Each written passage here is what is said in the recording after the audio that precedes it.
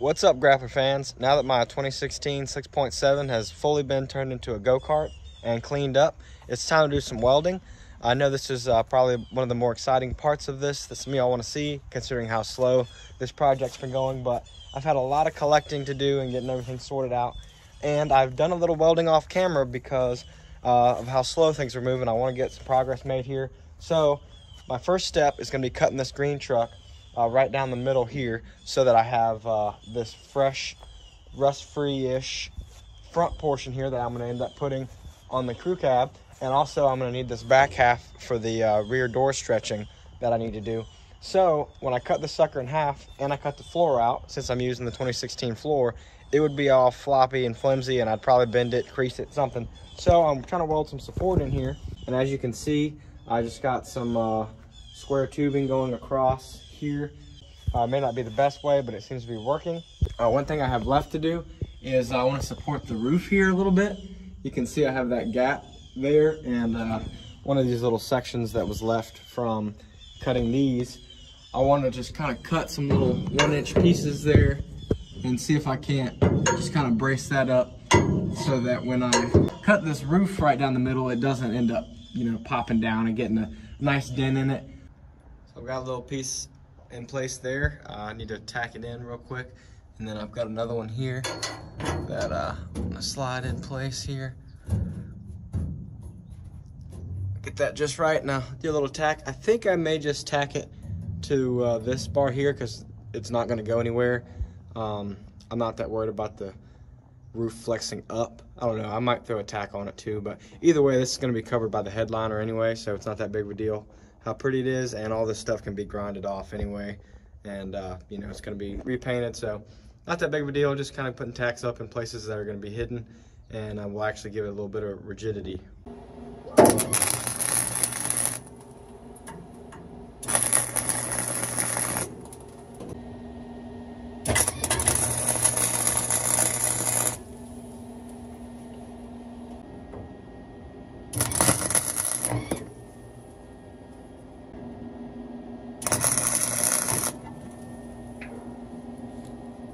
Now that I've got some little boogers welded up on that guy, I don't want to overdo it. I think that'll kind of help keep it from flexing. So uh, I'm excited about that. You know, this will keep it from going down and uh, the weld should hold it from flexing up. Now, I'm not going to have much strength on this back portion here because I don't really have any good place to put one of these unless I put it from here to there, which is basically not doing anything because this is already pretty structurally sound, I feel like. Um, so I might have some wobbly, you know, uh, rocker panels here, but I'm gonna be able to live with that, I think. I'm gonna go ahead and uh, start working on cutting this floor out, I think, because now she's all braced up. I feel like uh, we're in a good spot to start cutting stuff. This dash needs to come out, firewall, the whole floor. And I do want to be kind of easy on this floor because it is so solid. It uh, definitely has surface rust, but this uh, light's not doing it much justice. This is the only tiny little rust spot I've got, which is a lot better than most of these old floors are. Here's a good example. This is my other donor cab that I'm gonna be stealing some metal from. And you never know, I may end up wanting to just take this floor out of here and putting it in there. There's a few ways I can go about cutting this floor out, and I wanna start with the dash either way, because it's easy to get to, get it out of the way, and then make it easier to get the firewall out and I have a couple different cutting tools, but the most fun one is the plasma cutter. So I'm uh, bringing this cheap rig back out here, see if I can't get it to act right this time. I had some issues before that I think were just because I had too thin of a gauge wire. So I got this uh, 10 gauge out here. We'll see if I can get this uh, dash cut out without too much sputtering and everything. If I can get my, my speed right. That was another thing, I was going too fast. So we're gonna try it out, see if I can't cut this out. And then, uh, you know, it all needs to come out. So I'll just cut till I can't see anymore. I'll get my light out here, cut some more, and then just kind of stop. Maybe it'll start raining. I don't know. I thought it was going to rain all day today, so I'm excited about any progress I can make.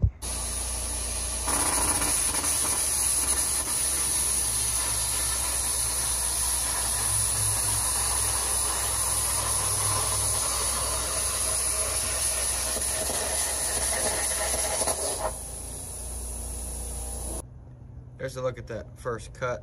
I ended up uh, sanding off the paint because I think that was giving me some sputtering action and it cut right through it like a hot knife through butter. So I'm gonna do that to the rest of it there.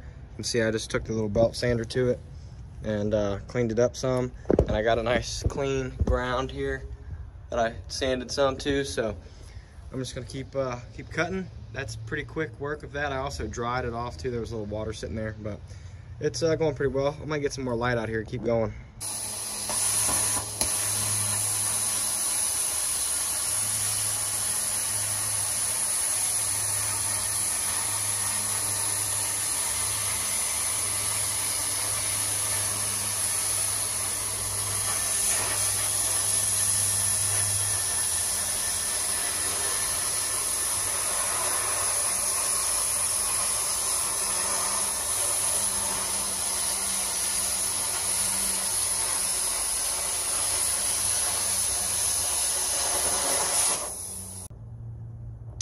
Here's a peek at that cut. Looks like it went all the way through. Might have got hung up a little spot there maybe, but pretty clean cut.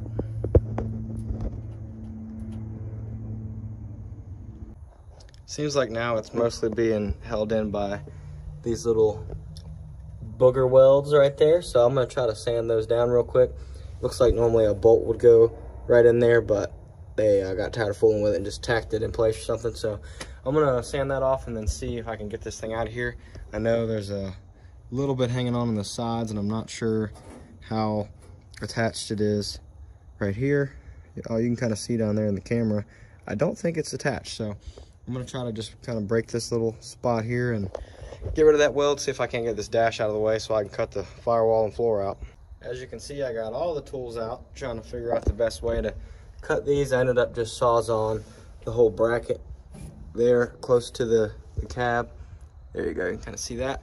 And I took the little body saw over there and got the rest of this plasma cut out of the way.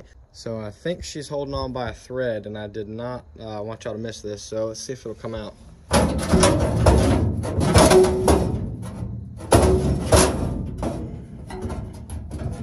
Oh, yep, Remember that? I forgot to cut that out. That's okay. Don't worry about that little guy. Oh, that little guy? I wouldn't worry about that little guy.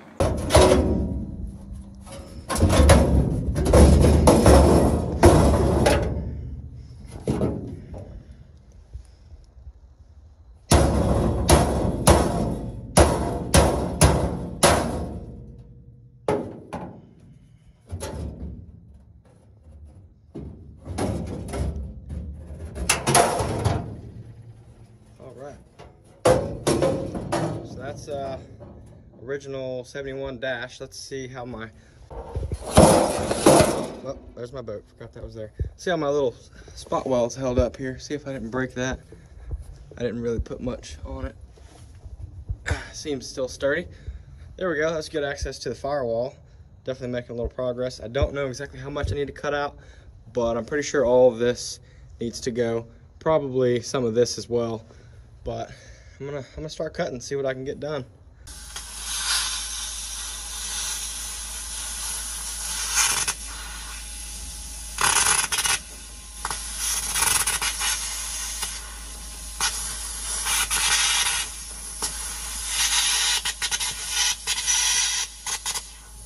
I tried plasma cutting it without sanding it just to be lazy and see if it worked and uh, it got pretty crazy and sloppy and spotty. So I just uh, sanded it real quick, made a nice little straight line. Hopefully I can follow that with the plasma cutter.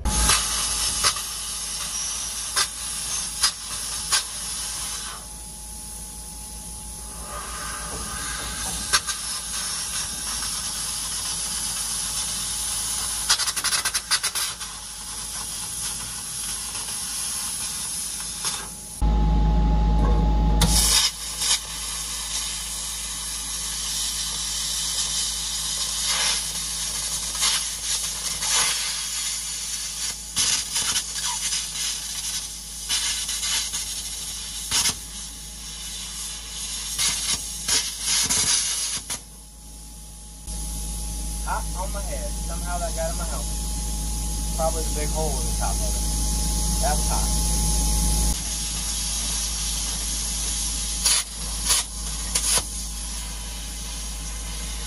Well, I think I'm gonna call it a night. I'm having a hard time with this plasma cutter. I don't know. I thought I figured out what I was doing wrong, but obviously still uh, being real sloppy with it. It'll start off real smooth and then it just goes all over the place. So I'm gonna mess with it more tomorrow and I may end up sawzalling this thing some, but we'll see. It ain't doing too good right now, but I'll get it out. All right, boys and girls, now that the dash is out and uh, the plasma cutter was giving me a little trouble, I've made some progress with the air saw. I got this little body saw uh, that I've been using on little hard to reach spots. And I actually went ahead and did this whole top all the way down to that seam there on both sides. And I kind of went through all this crap where the plasma cutter was getting all splattery. So now this is pretty uh, free and loose here. And before I get crazy with the floor, I want to go ahead and cut this roof right down the middle while it still has some rigidity. So as y'all can see, I went ahead and ran a uh, strip of tape there to give me a nice straight line. And I used these little um, markers here that are already built into the, the cab here for this. It's usually covered up by the seal there, but there just happens to be a little indentation. So I'm going to the front part of both sides of that. It looks all crooked on the inside, but made sure it's nice and straight across the top. And I think I'm gonna get started with the Sawzall and kind of get through these several layers here and then once I get into the roof, I'm gonna go back to this precise little air saw, see if we can't get this sucker chopped in half. And once we do, I'm gonna cut the floor the rest of the way. And uh, this front end should kind of drop down a little bit, um, leaving the floor and the firewall sitting. And uh, then I'll continue to cut the floor out and we'll get the, the back half um, kind of figured out exactly how I need to cut it. But main reason I wanna start with this front part is because once I cut this thing in half, it'll just be you know, from here forward, me and like one other guy could probably carry it over to the 6.7 power stroke, set it down and figure out how much more I need to cut off of the sides of it and just kind of figure out how the dash is going to go and just really start making some progress there. So without further delay, I'm going to start sawzall and see if we can't get this sucker chopped in half. And it is a shame because this is the cleanest old bump side I've seen uh, body wise. Like there is very little rust on this thing. I've never seen one with such a nice floor. So I'm gonna try to be nice to the floor so it could be reused, potentially even in that brown truck over there that needs a floor. So let's start cutting it up. I'm gonna just do it before I think too much about it. It's a nice truck, but I'm cutting it in half.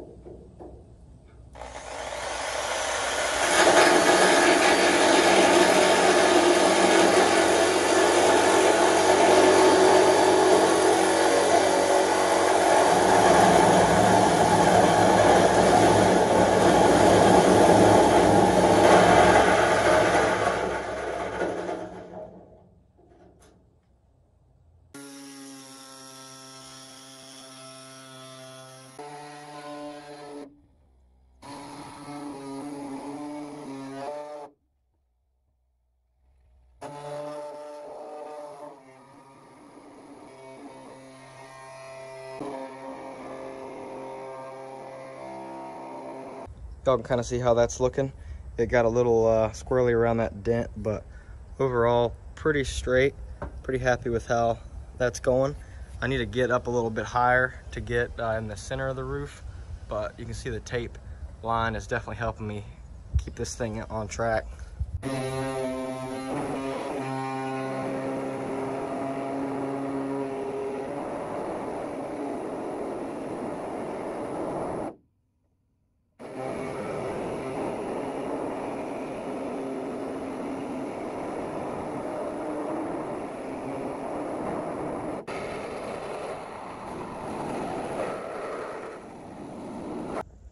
I've got the roof completely cut now all the way through on both sides, including the inside. And I also went ahead and made a cut here on the uh, bottom of this rocker, just about in the same spot as up there. And now I'm gonna go ahead and finish up my cuts from the firewall. I know that looks terrible. Not using the plasma cutter anymore, it's giving me trouble. And I'm gonna cut from that firewall seam down here to this line I just cut in the floor and then hopefully this whole front end will be free once I do that to both sides. Just finished that cut and as you can see we got a little little wiggle room there now so I'm gonna do that to the other side and this thing should drop down a little bit. I've got this sucker ready to sit on blocks out here. We're doing it uh, full budget out here. I know this looks ridiculous but I think we're gonna be able to make it work.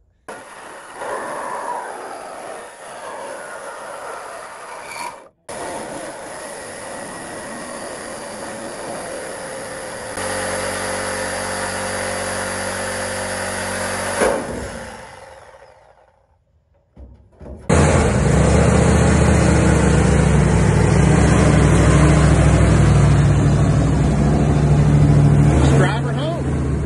Oh, yeah, jackknife again. This is the first time driving it without a flat tire, so we'll see how much brake action we got. It has power brakes and they're like fully not functional as far as I can tell. Um, but she does have a parking brake that seemed to work. But again, it had a flat tire, so it may have worked better since the tire was slowing us down. But we're gonna try to make it to O'Reilly's.